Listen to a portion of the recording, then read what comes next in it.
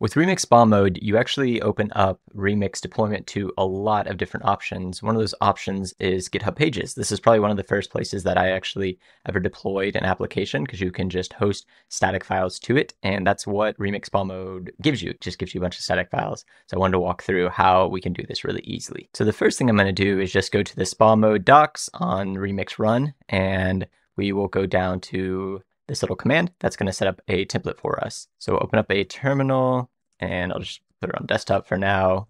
And we'll run this and this will create this spa template. I'm going to go ahead and speed this up to get past all the installs. Cool, so we got our new package up and I can go ahead and run an npm run dev and we'll just make sure that this is working.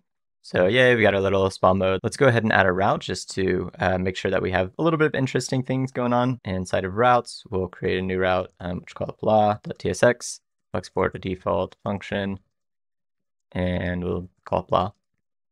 Return an h1 that says I'm the blah. Okay, and that index, we'll just change these to be a link instead, and get rid of that, and we'll say the two is to blah. Cool, so we got a link, and inside of that, we could actually uh, export like a loader or something. So it has to be a client loader because in spa mode, everything is client side.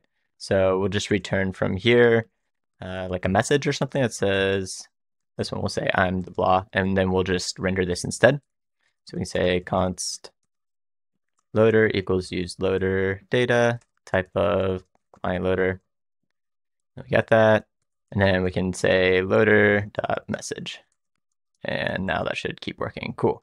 And as you notice, if we refresh, we are going to get a slight loading really quick. Um, and that actually comes from the root. So before everything is uh, rendered on the client, this is kind of our fallback, or rather, our this is what our HTML will be. So let's go ahead and build this and see what this looks like. So npm run build. And it's going to create this build directory, which has our index.html. And you can find the loading in here somewhere. There it is right there, loading. And then we got a favicon and all our assets, uh, all this different stuff. There's blah, it's that route. So we got all our stuff ready. We just want to host this on GitHub pages now. So let's go to github.com. Uh, I don't want to be on Remix Run. I'm just going to go to my profile and we're going to create a new uh, repo. So we'll hit the plus, we'll say new repository and I'll be the owner. We'll call it spa demo and I'll just say, I'm going to delete this because I am. I have a better version that you can go look at, and that will be in the description. Okay, cool. So we're going to push the existing thing that we have. So the first thing that we want to do is we want to say git status. We have some stuff to add. So git commit with a message. We'll say added another route. And then now let's run all the stuff that GitHub gave us. Perfect. Now we can push this up and we are good to go. So now we've got everything on GitHub, and now what we want to do is we actually want to deploy it. So GitHub pages, let's go find the docs and just kind of look at them for a bit.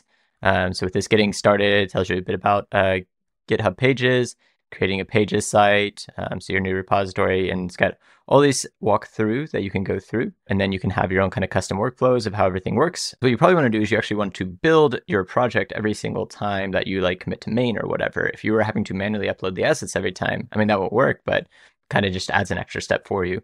So the way we're going to want to do this is with GitHub Actions. So the first thing we'll do is we'll just go into settings, and there's a little pages uh, tab right there.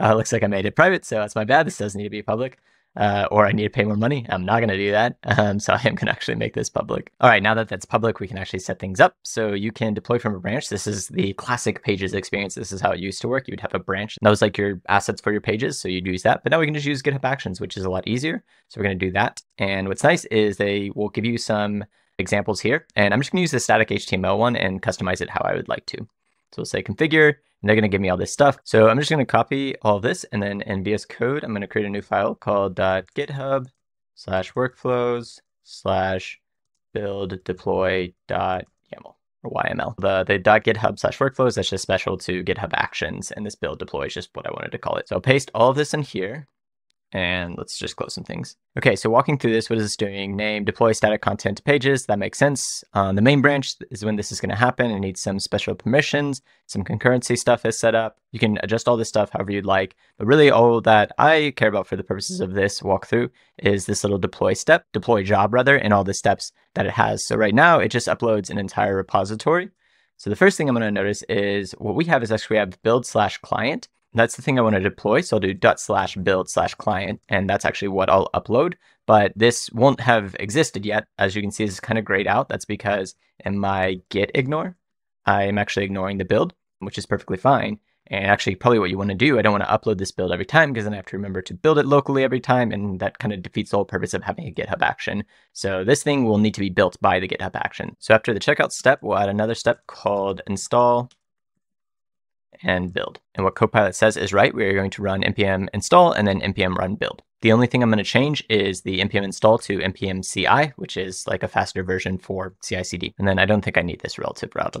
It should be relative already. Once we push that up, we can go back to GitHub and we'll see our actions.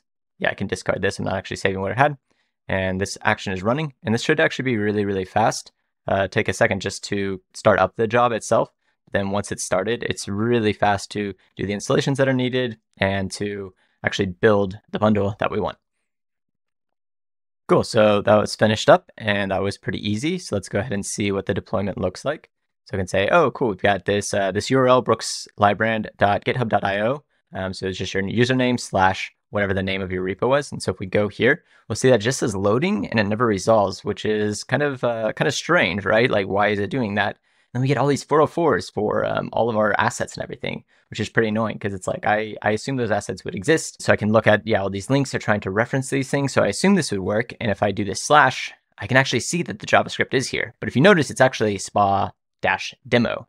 Uh, that is where this all is hosted. So there's actually this different base name because I uh, I can host multiple GitHub projects to this brookslybrand.github.io path. So what we need to do is we actually just need to adjust one little thing in our config. So back in VS Code, I am actually going to adjust the Vite config. We're going to add a base name and we'll make it whatever the base name is here. So this is a way to talk to React Router underneath and say like all URLs should start with this base name. And then we're also going to do the same thing with the Vite config base. It needs the exact same thing because that's basically saying where all the assets are going to live. They're all going to live at that base name as well. So we can test that this all looks right by doing npm run build. We can see inside the index, cool, they're all like namespace with that. And if we go ahead and run npm run dev again, we'll see that it's slightly changed how our dev experience is, which is totally fine. We just have this uh, slash spa demo automatically but our links still work the same, which is good. Uh, one thing to notice though is that our favicon just went away, so this is kind of an, an annoying little thing, but uh, we can fix this pretty easily. We'll go into root, and then here we actually just want to add a link, and I'm actually just going to copy this over because it's just a it's a copy and paste sort of thing. So there, that should fix our fav favicon, favicon, however you say it. And it's good now. We got our little R there, which is great. So let's deploy this and make sure that that actually gets deployed correctly. Git add, git commit, and fix base name, and then git push. All right, GitHub repo view web. I love that little command. Cool, we can see our action. Going to that action, it's pending. We can check the details, starting the job, setting it up. All right, now it's done. And we can go back to this, delete all this stuff, and this should just be working. Yay! So welcome to Spa, Remix Spa mode, and then if we go to blah, I'm the blah. So there you go. That's how you set up Remix Spa mode on something like GitHub Pages. This is really nice if you're just trying to try out an idea or try out like a Remix Spa and you want to get it deployed pretty quickly. This is maybe like one of the fastest ways to do it, but there's of course other deployment platforms, just anything that hosts static files and will host the output of your build will work for Remix Spa mode. Of course, though, for many applications, they're going to benefit from a server. So if you do want to use Remix with server-side rendering and in the future React server components and everything, and you want to flip your Boolean, the SSR false, you want to flip that to two, but you got to make sure that your hosting platform actually has a server and can server render your pages. Hope this tutorial was helpful.